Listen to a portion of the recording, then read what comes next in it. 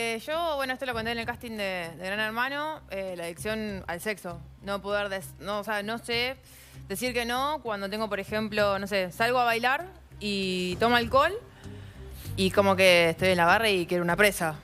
Eh, o, o sea, Ah, bueno. quiero, quiero a alguien, claro. Jodido. Sí. ¿Solo O sea, te yo pasa cuando realmente tomás lo- alcohol? Eh, mayormente o se sí. te descontrola No, no, en realidad cuando tomo alcohol. Por eso hoy en día, yo hace ya tres años más o menos, que me aferré mucho al gimnasio y a lo que sería la fe. Eh, entonces yo dejé de salir a bailar, dejé un montón de cosas que fueron mi corralito, por así decirte, para no, no aguantármela, porque ya mis domingos eran dominguicidios. O sea, yo viernes, sábado, domingo estaba en una.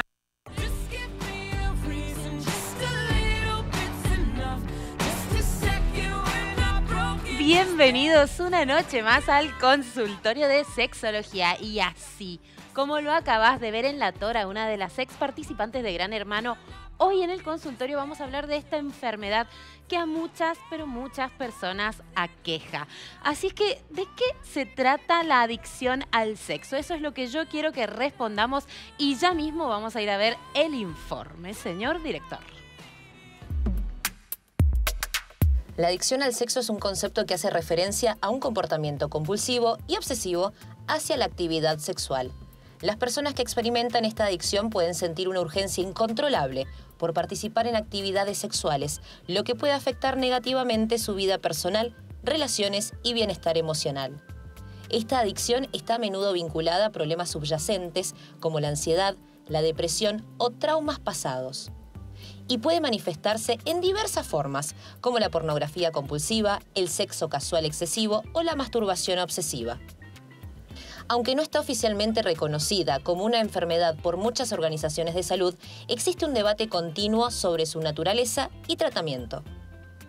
La terapia, el diálogo abierto y la educación sobre salud sexual son esenciales para comprender y abordar este tema de manera efectiva, desterrando los mitos y promoviendo una visión informada y compasiva. Hoy, en el consultorio, veremos qué es la adicción al sexo, cómo saber si la tengo y consejos para empezar a trabajarla. Ahora sí, ahora sí ya estamos acá con todo arrancando el capítulo de hoy y por supuesto como cada sábado queremos escucharte, queremos recibir tu testimonio, tus preguntas, tus dudas, tus consultas. Puedes escribirnos a nuestro WhatsApp al 261-300-1600 que te vamos a estar leyendo y escuchando. Y también te invito a jugar porque siempre hay que jugar para divertirse. Podés eh, irte ya mismo a nuestro Instagram, arroba canal 9 Televida, porque hay un juego ahí, ya, ya está apareciendo para vos. Y quiero que vayamos a ver de qué se trata.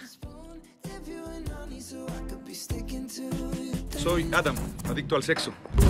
Hola, Estoy agradecido de estar sobrio hoy. Estuve pensando en ti anoche. Oye, no eres un alcohólico, ¿sí? No, ¿por qué? Prometí nunca volver a salir con un adicto.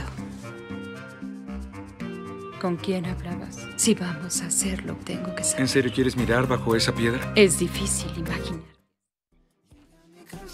Mm, y la pregunta dice lo siguiente, ¿este tipo de adicción puede ser un problema en la pareja? Y vos tenés que responder si esto es verdadero o falso. Ya mismo déjanos tu respuesta en nuestro Instagram, arroba canal 9 Televida. Vas a ver que aparece ahí el posteo del consultorio. Ahí tenés que participar por nuestro premio. Y la gente habló, la gente habla, la gente comenta, porque ya saben que este programa se trata de vos, de lo que vos tenés para decir. Así que fuimos a la calle, hicimos preguntas y acá están las respuestas. Vamos a escucharte. Tener relaciones sexuales es sano. De hecho, muchos expertos aseguran que mejora la salud física y mental. Eso sí, siempre y cuando no se convierta en un deseo o en una obsesión. ¿Sabrán los mendocinos y turistas de qué se trata este comportamiento sexual compulsivo? Veamos. ¿Sabes qué es la adicción al sexo? Me imagino que es una persona que no puede estar sin otra persona. Da lo mismo quién. Pero obviamente carnalmente es alguien que no puede estar un día sin sexo. Supongo yo que sería el, el tener dependencia de, de la- de tener relaciones sexuales, eh, sea con un chico, con una chica, lo que sea. Eh, en mi caso no es, pero conozco gente que sí. Me puedo imaginar, pero no tengo idea. Es cuando una persona tiene muchos eh, deseos, ya sea con diferentes personas, de, hacer, de tener relaciones habitualmente. Debe ser mm, eh, una obsesión, digamos, eh, a nivel eh, psicológico, eh, de solamente pensar en el sexo y no en, en otra cosa. Que querés tener todo el día sexo constantemente. Dices que decirme conductas tal vez eh, que una persona adicta al sexo tiene. ¿Qué conductas para vos podrían ser? Eh, para mí sería alguien que reemplaza a otra muy rápido o que tiene, eh, que tiene miedo a estar solo mucho tiempo o por, por la sexualidad, no por el hecho de estar con alguien, sino de la sexualidad. La dependencia, Y lo que te pasa con las adicciones, o sea, como que lo necesitas, te pones nervioso si no pasa, lo buscas demasiado, haces cosas que capaz no estén tan buenas para ir a buscarlo. Como maniática, cualquier cosa, objeto le llama la atención, como va a tener eh, sexo, eh, ya sea un pepino, una ensalada, lo que sea. Y como toda adicción, eh, como la adicción a la droga, al alcohol, un comportamiento eh, muy especial, supongo. Y que está todo el día mirando personas, hombres, mujeres, sea el sexo que sea, que se las debe querer llevar a todas. Eh, creo que viene por ese lado, ¿no? Mmm, cuántas preguntas y cuántas respuestas que te vamos a dar esta noche. Y ya las tengo conmigo a ellas acá, son especialistas y nos van a estar ayudando a responder todas esas dudas al respecto de la adicción al sexo. Ya está conmigo Samantha Canata, ella es psiquiatra y es especialista en adicciones. Y también la tengo conmigo a Melisa Sánchez, que es mi colega, es psicóloga y es sexóloga también. Así es que un placer tenerlas acá, a estas dos expertas. Buenas noches, chicas. Buenas noches. Bueno, eh, arranco preguntándoles, a ver, Sami, te pregunto a vos primero. ¿Qué es, a qué le llamamos la adicción al sexo? ¿Existe como tal una adicción al sexo? ¿Una persona puede ser adicta a tener sexo?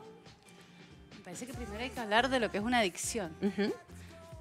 Que- porque si fuera por consumo, hay muchos tipos de consumo. Por ahí están como, como más conocidos los consumos de sustancias. La adicción al sexo entra dentro de los consumos, de las conductas, de las adicciones conductuales, que es como un campo que se está como descubriendo. Eh, entonces, ¿cuándo se habla de adicción? Cuando, cuando ya hay como cuando ya eso in- irrumpe en la vida social, laboral, afectiva del paciente, cuando ya hay una pérdida del control, cuando ya se pone en riesgo alguno de esos aspectos para poder llegar a eso. Y eh, también tiene que ver con que el- se transforma como en una adicción cuando se, se hace, se busca esa conducta, sea la sustancia o un acto, para, eh, para calmar un malestar en realidad. Eso, eso mismo, bien.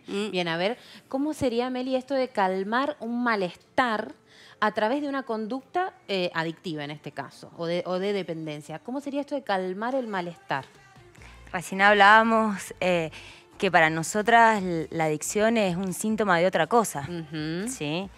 En la adicción al sexo, el paciente o la persona eh, lo que busca es calmar la ansiedad ¿sí? o el malestar que siente interno. Generalmente estos pacientes no sienten placer a la hora de llevar a cabo el acto. ¿Sí? Generalmente y con el paso del tiempo se pierde el placer sexual y lo que buscan es calmar la ansiedad y el malestar o la angustia que sienten. Bien. ¿Y esto ustedes dirían que es en todos los casos hay un malestar subyacente? O sea, una, algo por lo que la persona tal vez está mal, la está pasando mal, está con, un- con alguna depresión, con alguna pérdida, con alguna situación de malestar que la lleva a caer en esta conducta compulsiva. ¿Esto podríamos decir que es en la mayoría de los casos? Múltiple factorial. Las dejé en silencio. No, Las he dejado pensando. Sí. Cuesta pensarlo como algo primario. A ver, ¿cómo General, sería eso? El, digamos, como adicción al sexo así como y nada más. General, claro. cuando hay un acto adictivo, eh, va desde, te- no sé si te pasa lo mismo, en general siempre hay algo atrás, una historia de vida trágica, abusos en la infancia, una depresión de base, una psicosis. Historias de abandono. Claro. Características de la personalidad, suelen ser personas impulsivas, Bien. sí, ¿Qué que otras buscan el características de placer. personalidad? Ajá. ¿Qué, ot- qué otras características? Suelen ser narcisistas, impulsivos, eh, que tienen poco registro del peligro, del daño que pueden causar para sí o para terceros esa conducta compulsiva. Eh, no alcanzan a pesquisar el grado de, o la gravedad de lo que les está pasando, ¿sí?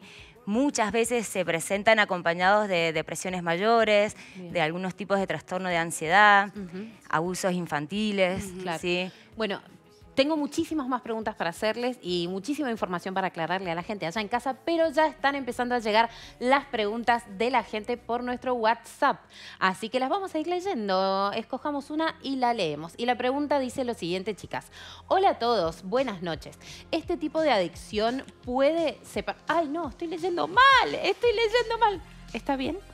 Ah, muy bien. Bueno, lo estaba leyendo bien esto y se volvió loca la conductora. La pregunta es la siguiente. ¿Este tipo de adicción puede separar a las parejas? Em, sí o no. Lo que pasa es que es muy parecida a la del Instagram, así que atenti porque les vamos a estar dando la respuesta. Si estás prestando atención, vas a poder responder bien. Así que les pregunto, ¿a ustedes les parece que una adicción como esta un comportamiento como este puede llegar a separar a una pareja? ¿Puede ser un factor? Sí. Justamente, sí. Exactamente. ¿Vos qué pensás, Ami? No, pues la pareja, porque en general los termina aislando del- de los seres queridos, o sea, los Ujú. separa de los afectos. Claro. Pareja como algo puntual, pero tiende a aislarlos socialmente. O sea, no solo de la pareja, sino también de todos los afe- afectos. ¿Y por qué? ¿Por qué, Meli? ¿Por qué trae problemas en la pareja? Sí, o en los vínculos. Eh, Este tipo de, de personas, a ver, vos podés pesquisar que comienza a tener eh, problemas en la salud, problemas laborales, se aísla, sí, pero no son personas que generalmente andan diciendo que tienen problemas de adicción al sexo. Sí, uno puede ver síntomas que pueden dar cuenta, yo diría, de cualquier adicción, no solamente la adicción al sexo. ¿Qué es lo que pasa con una pareja? Y que sí va, al estar en la intimidad, sí va a tener una demanda o va a tener un encuentro totalmente diferente de lo que puede ser en el trabajo o en el resto de la familia. Y trae conflictos graves en la pareja. Sí. Desencuentros. Desencuentros. eh, tensión, rispidez, desconexión, eh, presión que puede sentir uno de los miembros de la pareja. Bien. Y piensan, pensás a mí que este tipo de adicción o este tipo de comportamiento ¿no? en relación al sexo es todavía más tabú que las demás eh, adicciones. Digo todavía más tabú porque ya de por Sí. el mundo del- de las adicciones es un mundo Eh. bastante tabú y tapado. Tal cual. Quizás, eh, no sé si tabú sería la palabra. Mm. Parece que, que la gente no llega a la consulta co- por eso. Y que en general eh, suele estar como más asociado por ahí a otros consumos que quizás saltan más a la luz porque los ves, como un consumo de alcohol, consumo de cocaína, entre otros. Posibilidades. Claro. Suelen ir asociados a consumo de otras sustancias. Porque además de ser algo que, que el paciente no va a decir espontáneamente, tampoco sé si es algo que sea tan consultado por los profesionales, justamente. Generalmente no llegan a la consulta. Yo en los 19 años que trabajo en esto, una sola vez recibí un paciente con adicción al sexo. Bien. ¿Y con una conducta compulsiva hacia la masturbación, por ejemplo? Sí, Ahí por ahí es más común. Claro, claro. Meli, retomando un poco el tema anterior, quería preguntarte, si uno está en una pareja donde eh, tu pareja tiene una conducta eh, patológica en relación al sexo, patológica en el sentido de, de esto que estamos diciendo, ¿no? Hay un sufrimiento, hay un malestar y se está utilizando, por así decirlo, el sexo para eh, calmar esa angustia o ese malestar. El tema es que la ex- la- el pedido viene para conmigo, mi pareja me pide insistentemente, eh, me reclama, aunque yo le digo que no tengo ganas, que no tengo deseo, está el pedido, está la búsqueda. ¿Cómo, cómo hace esa persona que está en esa pareja para poder ayudar o para poder proteger y salvaguardar algo de sí misma o sí mismo y de la pareja también? ¿Cuál, cuál sería la conducta a tener? Hay que buscar ayuda profesional.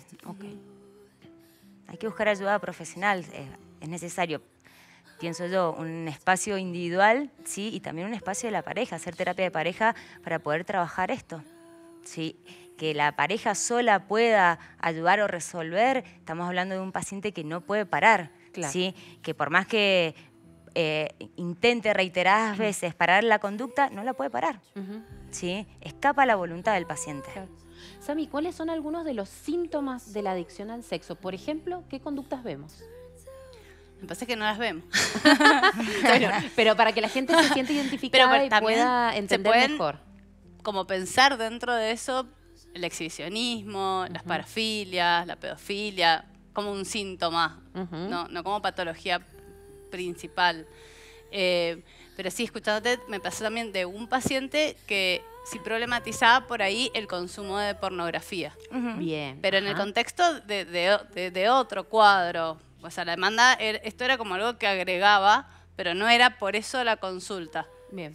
Por ejemplo, una persona que dice, yo si no tengo sexo todos los días, no me siento bien. Podríamos estar hablando de una persona que empieza a manifestar algún tipo de problema en relación a, a su conducta sexual. No. No. Yo no me siento bien. Solamente me empiezo a sentir bien cuando tengo sexo. Ahí ya está, ahí ya me siento bien, me calmo, estoy más tranquila, estoy más alegre, puedo charlar con vos. Eh, Una cosa es, es, eh, digamos, una persona más hipersexualizada o que tiene eh, una ciudad, eh, digo, tiene Una relaciones sexuales más seguido, más frecuencia, y otra cosa es una adicción. Lo que diferencia entre una persona que tiene eh, relaciones sexuales activamente o se masturba activamente a una persona que es adicta es que esa persona, si quiere parar la conducta, la puede parar. Si la pareja le dice hoy no, puede parar. El adicto no. Bien, bien. Lo que lo diferencia es el acto. Bien. Tenemos más preguntas de la gente y las vamos a estar escuchando, leyendo, a ver qué dicen. La pregunta dice lo siguiente, ¿esto es algo que se da más en los hombres o en las mujeres? Mm, ¿Qué dicen, chicas? Sami, ¿qué pensás? La verdad que no sé si habrá estadísticas de eso. Sí hay. La Organización Mundial hay- de la Salud dice que el 5% de la población padece de esto Ajá. y en su mayoría es en los varones que en las mujeres. Ajá. Ah, pará, Meli, a ver, un pará. 85-90% más. El 5% de la población mundial Padece esta enfermedad. padece adicción al sexo. Ujú. Wow. Y en ese 5% la mayoría, la enorme mayoría, son varones. Al menos de lo que lo dicen. Pero, exactamente, primero es lo que los dicen, Claro. sí, pero no es exclusividad de los varones. En las mujeres también se manifiesta, no es exclusividad de los varones, pero sí se ve más. ¿Y por qué Al- piensan que es una conducta que puede verse más reflejada en los varones que en las mujeres? ¿Qué opinan? Ahí en- entrarán la, la testosterona, Ah. la cuestión más Está como orgánica. relacionada la testosterona con Sí. la libido. Podría ser como una explicación. Ajá. Eh, O sea, ¿cómo sería esa explicación? ah, que los varones, que en general la concentración de testosterona más menos está relacionada a la libido. eh, y bueno, los varones por naturaleza tienen, tendrían más testosterona, por lo cual tendrían más libido. Pero bueno, es, es hasta lo que se sabe ahora, ¿viste? Que Pero no, es, No es- no es determinante, Exacto. digamos, ¿no? Claro. Ahí leía unos estudios que planteaban que uno de los problemas a nivel neurológico, o Sí.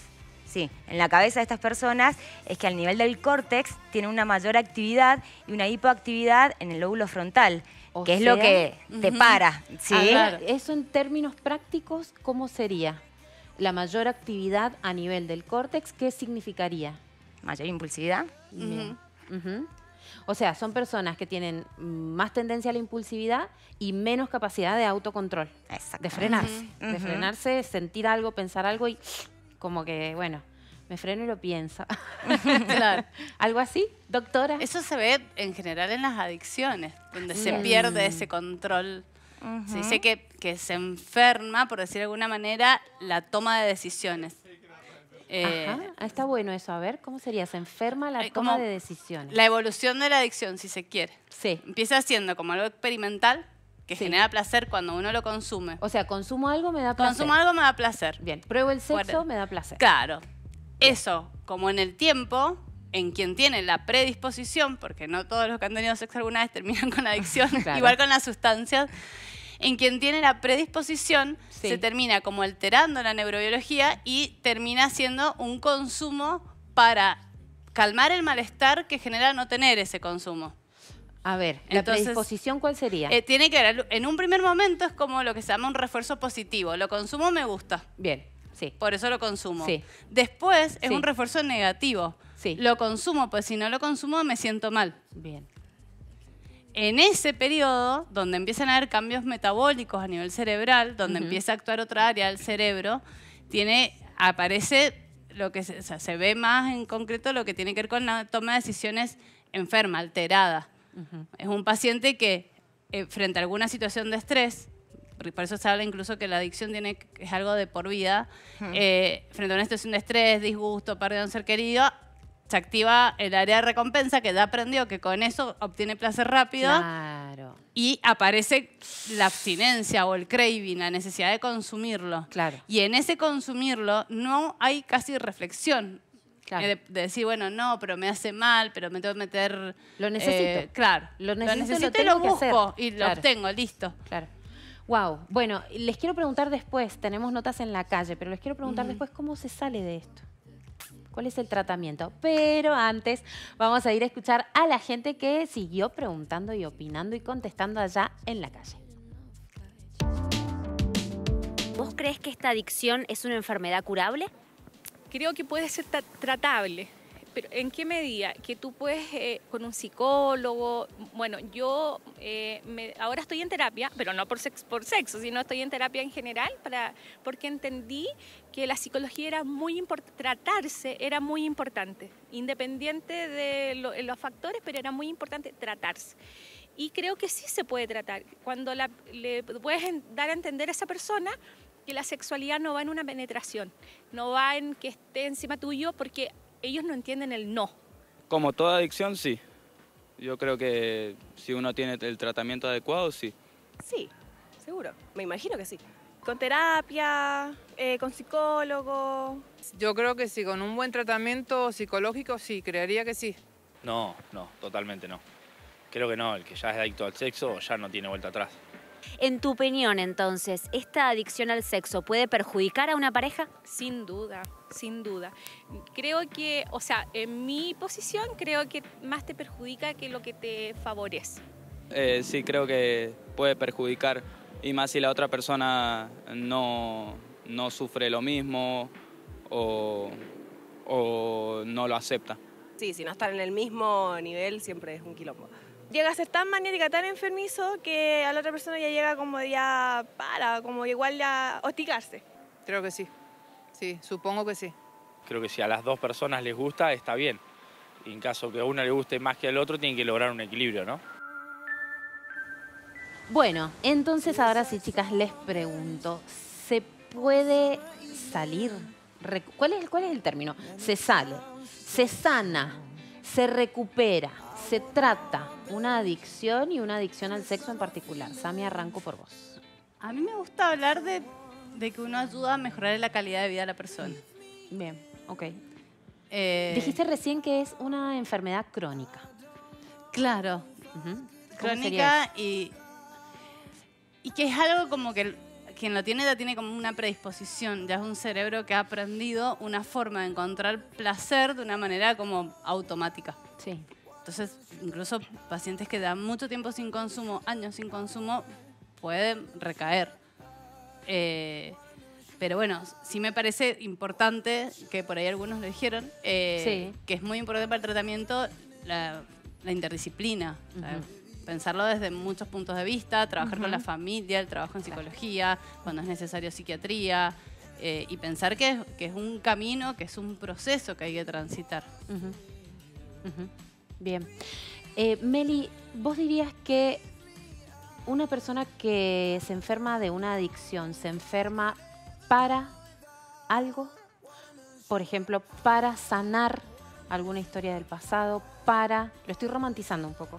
Pero te lo- Muy romántico. Un poco mucho. Pero bueno, a ver, qué, a ver qué me respondes, porque mucha gente que se recupera eh, son personas que eh, son capaces de decir, yo entendí que tenía que pasar por eso para eh, poder sanar mi pasado, para soltar ese dolor, para olvidarme o para trascender aquella historia de sufrimiento que yo tuve, para perdonar a mi mamá, para seguir adelante con la vida. Vuelvo a lo mismo que dije hace un ratito, es síntoma de otra cosa. Si vos le querés decir para, bueno, vale, para. Pero sí, es síntoma de otra cosa. Yo no creo que, que un sujeto de manera consciente se vaya a enfermar para sanar, ¿sí? Pero que hace síntomas de otro, de otra cosa que está ahí más en lo profundo, seguro. Claro. Sí. Y después, bueno, em, ¿de qué depende que algunos pacientes encuentren el éxito, si se quiere, ¿no? el éxito entre comillas, esto de poder adherirse a un tratamiento, ir encontrando el camino de salida, ir encontrando cierta estabilidad y un eje de salud? ¿De qué depende? ¿La ayuda de la familia, dijiste Sami? ¿Es importante? En este caso de ¿Adherirse la al pareja. tratamiento? En este caso de la pareja, si tiene pareja, ¿sí? las terapias sexuales se trabajan con la pareja. Bien, Sí, y si la pareja no quiere venir, Ahí. tenemos la pareja imaginaria. Pero trabajamos con el imaginario de la pareja. Bien, ¿sí? ¿y por qué? Porque no hay otra manera de poderlo trabajar. El paciente en sexología es la pareja. ¿Sí? Hay pacientes que vienen con determinados tipos de síntomas o de problemas que no están en pareja, ¿sí? Sí, es verdad, hay un montón de pacientes que no tienen pareja. En cuanto aparece una pareja, nosotros los citamos al consultorio, algunos se niegan, otros participan. Los que tienen mejor evolución en el tratamiento son aquellos donde está la pareja presente. Claro. Porque para los diferentes tipos de, de técnicas, de, eh, de cosas que les proponemos, es con la pareja. Bueno, pero ¿cuántas veces eh, habrás escuchado esto de, ah, no, pero si el problema lo tiene él, yo no voy a ir, yo no, no, yo, yo tengo que hacer terapia, yo tengo que someterme al tratamiento si el, el que tiene la dificultad, el, el que tiene esta conducta, es él o ella, ¿no? Al El revés. 95% de las veces, por eso el paciente es la pareja.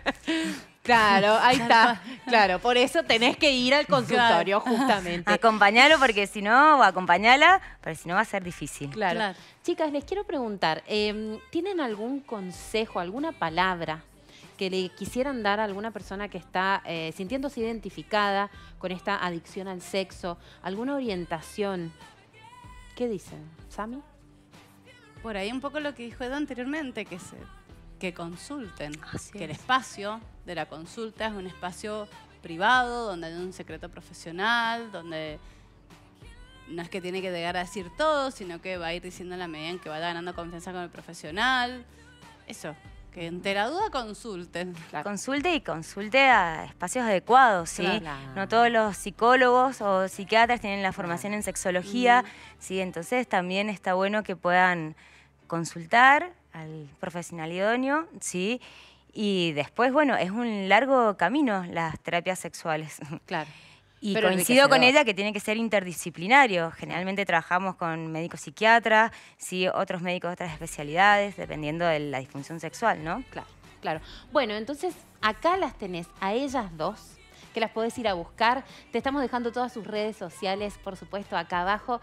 Y gracias, chicas. ¿Qué les puedo decir? Un placer, súper enriquecedor el programa de hoy. Y esperamos que allá en casa eh, a todos ustedes también les haya servido, porque siempre puede aparecer la duda y la consulta. Y yo no puedo cerrar este programa sin dejarles también mis consejos para quien le haga falta. Ahí van.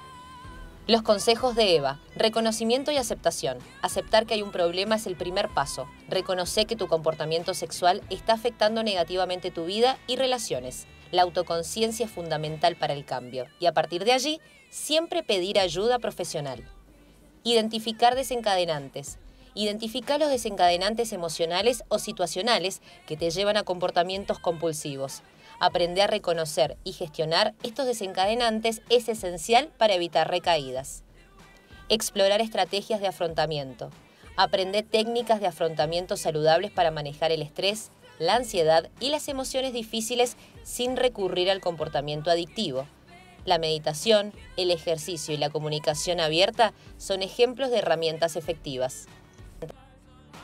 Gracias, gracias a vos por estar ahí del otro lado como cada sábado a la medianoche en este programón que la rompe. Gracias Canal 9, gracias a Tiendas Nativo por mi super outfit de cada sábado y por supuesto a Mala Peluquería que de mala no tiene nada. Les mando un beso.